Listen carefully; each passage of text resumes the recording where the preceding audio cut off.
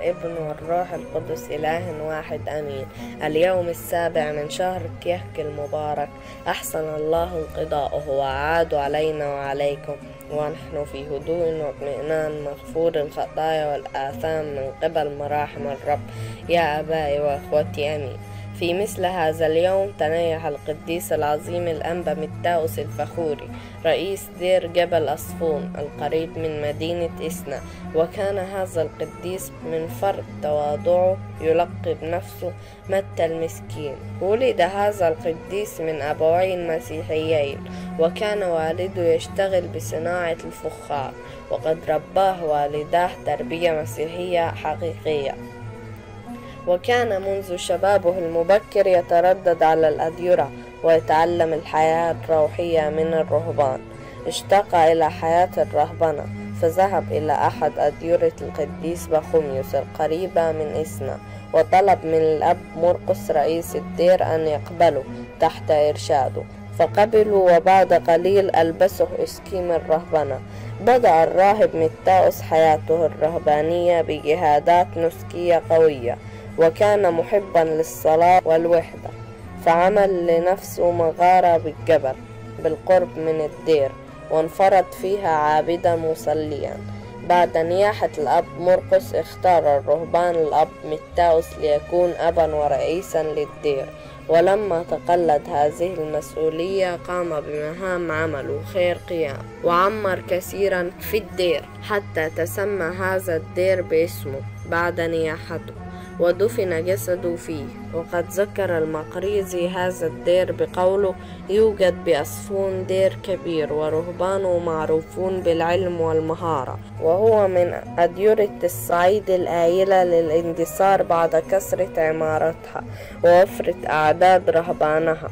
وبجانب النهضة الرهبانية والعمرانية الضخمة التي قام بها الأب متاوس في ديره فقد منحه الله مواهب كثيرة مثل شفاء الأمراض وإخراج الشياطين وإقامة الموتى وعلم الغيب حتى زاع صيد قداسته في كل البلاد المحيطة. وقد بلغ من قداسته هذا الأب أن الوحوش كانت تأنس إليه وتتناول طعامها من يديه.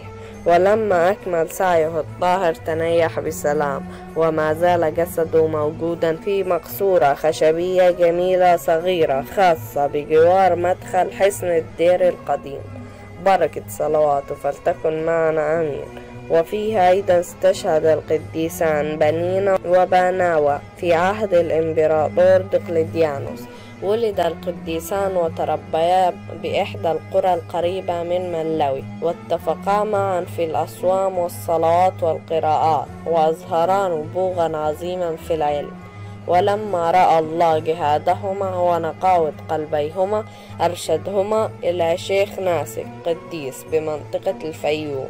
فتتلمذ على يديه لمدة ثلاث سنوات. فتتلمذا على يديه لمدة ثلاث سنوات. ثم اتجها جنوبا إلى جبل أبصاي التابع لأخميم حيث كان يقطن فيه عددا من النساك القديسين. بنى النساك كنيسة وأرادوا تدشينها فنزل القديس بنينا يبحث عن الأسقف القديس بساتا فلما وجده دعاه.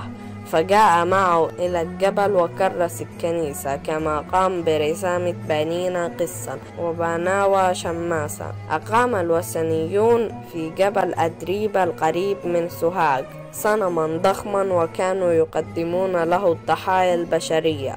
فحزن القديسان على ذلك وصليا إلى الله لينهي عبادة الأوثان من العالم. فأصار الشيطان الشعب الوثني عليهما لقتلهما. لكن الله حفظهما.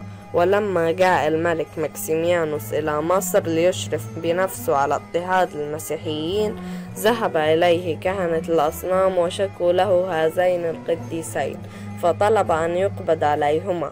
وفي نفس الوقت ظهر ملاك الرب للقديسين بانينا وباناوى يخبرهما بأن الملك يطلبهما وأن الأكاليل السماوية قد أعدت لهما. فانطلقا إلى الملك وشهدا أمامه بإيمانهما فأمر بقطع رأسيهما ونالا إكليل الشهادة. بركة صلواتهما فلتكن معنا أمين. وفيه أيضا تعيد الكنيسة بتذكار تكريس بيعة الشهيد أبس خيرون القليني الذي استشهد في يوم سبعة باونة والكنيسة المذكورة هي كنيسة الشهيد أبس خيرون بدير القديس الأنبابشوي وتوجد هذه الكنيسة بداخل كنيسة الأنبابشوي بوادي النطرون ويبدو أنه بعد وصول جسد الشهيد إلى دير الأنبابشوي أقيمت الكنيسة باسمه في عهد البابا بنيامين الثاني البطريرك الثاني والثمانون الذي جدد عمارة الدير. وتم على يديه نقل جسد الشهيد ومما هو جدير بالذكر أنه ما زالت الصلوات مستمرة على مذبح الشهيد بسخيرون لهذه الكنيسة بدير الأنبا بشوي حتى يومنا هذا. بركة صلواته فلتكن معنا آمين. وفيه أيضا تنيح القديس يوحنا أسقف مدينة أرماند ولد هذا القديس من أبوين وثنيين. كان والده يعمل نجارا. خرج أخوه الكبير بسنتاوس ومضى إلى قصر الطوب ومكث هناك يقرأ ويبحث حتى تأكد من صحة الديانة المسيحية ثم رجع وعلم أخاه يوحنا مبادئ الإيمان المستقيم ثم صعدا إلى جبل قريب من بلدتهما وعاشا في نسك وعبادة حارة حتى زاع فضل قداستهما وعلمهما. فجاء إليهما بعض أراخنة مدينة أرمنت وأخذوا يوحنا رغما عنه وذهبوا به إلى الإسكندرية حيث كرسه البابا أسقفا على أرمنت. ولما رجع إلى مدينته عمت كثيرين من الوثنيين وبنى كنائس كثيرة وكان يفصل كلمة الحق باستقامة وشجاعة دون محاباة. وقد قاس متاعب كثيرة من الولاة الوثنيين. وكان صابرا محتملا حتى صار الناس يهابون ويهابون رجال الكهنوت بسببه وقد راعى شعبه بالبر والاستقامة ولما أكمل سعيه الحسن تنيح بسلام. بركة صلواته فلتكن معنا أمين. وفيه أيضا استشهد المهندس القبطي سعيد بن كاتب الفرغاني نسبوا إلى مسقط رأس قرية فرغان. تولى عمارة مقياس النيل في جزيرة الروضة. سنة 864 ميلادية في عهد الخليفة العباسي المتوكل. ولما تولى أحمد بن طولون حكم مصر عهد إليه ببناء أهم منشآته فبنى له قناطر ابن طولون وبئر عند بركة الحبش لتوصيل المياه لمدينة القطائع عاصمة ملكه.